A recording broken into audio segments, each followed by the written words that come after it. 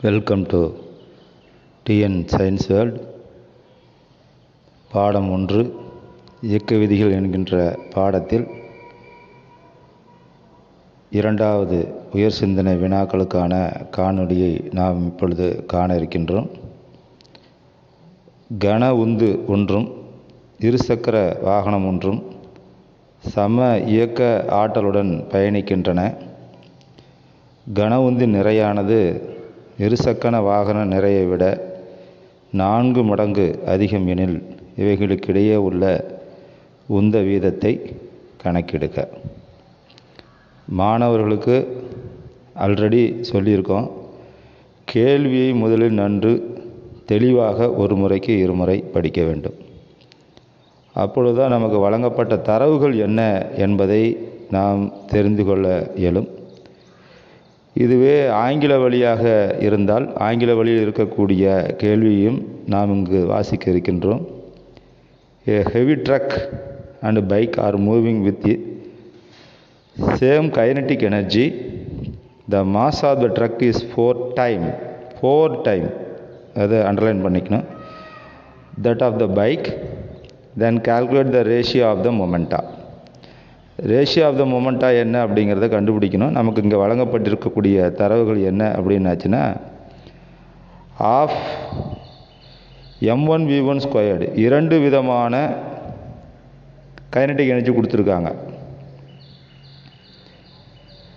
Kinetic energy means நமக்கு தெரியும்.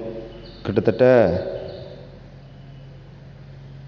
அதனுடைய சூத்திரம் ஆஃப் எம்வி ஸ்கொயர்டு என்பது K is equal to half M V squared அப்படிங்கிறது தெரியும். ஆஃப் முதல் ட்ரக்கினுடைய kinetic energy half M one V one squared இரண்டாவது பொருளினுடைய kinetic energy half M two V two squared ரெண்டுமே கே அப்படிங்கிற ஒரு எழுத்தால் நாம் எடுத்துக்கிறோம். அப்போ half M one V one squared equal to K அப்படின்னா half M two V two squared equal to K தான். இப்போ வி ஒன் ஸ்கொயர்டு அப்படிங்கிறது என்ன அப்படிங்கிறத நாம் இங்கே பார்க்க போகிறோம் V one squared equal to அப்படியே இங்கே அடுக்கீழே இருக்கக்கூடிய ரெண்டு இந்த பக்கம் மாறி வரும்போது two K by M one V two squared equal to two K by M two அப்படின்னு மாறிடும் அப்போ வி ஒன் அப்படின்னா ஸ்கொயர்டு எடுக்கும்போது பார்த்தீங்கன்னா இங்கே ரூட் உழுக ஆரம்பிச்சிடும் root two K by M one V two is equal to two K root two K by M two அப்படின்னு சொல்லிட்டு எழுதணும்.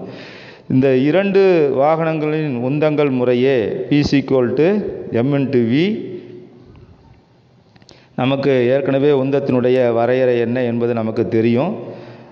அதன்படி பார்த்தீங்கன்னா பிசி கோல்ட்டு டு நிறையையும் திசைவேகத்தையும் பெருக்க கிடைக்கக்கூடியது உந்தம் என்பது நமக்கு ஏற்கனவே தெரியும்.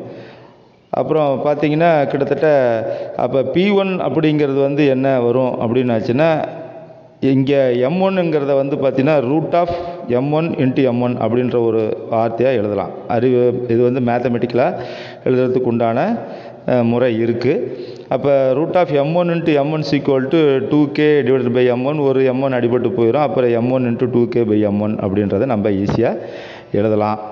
அப்போ எம் ஒன்னுங்கிறது ஒன்று அப்படின்னு எடுத்துக்கிட்டா அப்படின்னாச்சுன்னா எம் டூ வந்து என்ன சொல்லியிருக்காங்க அப்படின்னு ஆச்சுன்னு பார்த்தீங்கன்னா நான்கு மடங்கு எம் டூ என்பது இருசக்கர வாகன நிறையை விட நான்கு மடங்கு அதிகம் அப்படிங்கிறத வந்து சொல்லியிருக்காங்க. அதனால் வந்து இந்த பிங்கிற இடத்துல பி ஒன்னுங்கிற இடத்துல இருக்கக்கூடிய வார்த்தைகளில் ரெண்டு இன்ட்டு ஒன்று into K P two is equal to ரெண்டு இன்ட்டு நாலு இன்ட்டு கே என வச்சுக்கிட்டோம் அப்படின்னம்னாக்கா P one is equal to root of two K P two is equal to root of eight K எயிட்டை வந்து நம்ம root two into ரூட்டா two into root of two K அப்படின்னு எழுதலாம். அப்போ உந்த மாறுபாட்டு வீதம் என்பது ஒன்று ஈஸ்ட்டு ரெண்டு என்பதை நாம் இங்கே தெளிவாக கணக்கிட்டு கண்டறிய முடியும்.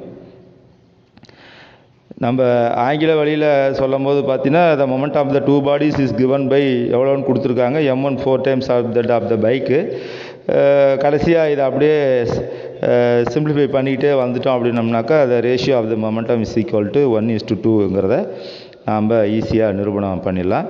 இப்போ இரண்டாவது உயர் சிந்தனை வினாவிற்கான விடையை நாம் இப்பொழுது கண்டறிந்தோம். மூன்றாவது உயர் சிந்தனை வினாவிற்குண்டான கேள்விகளை பதிலை அடுத்த காணொளியில் காணலாம். நன்றி வணக்கம்.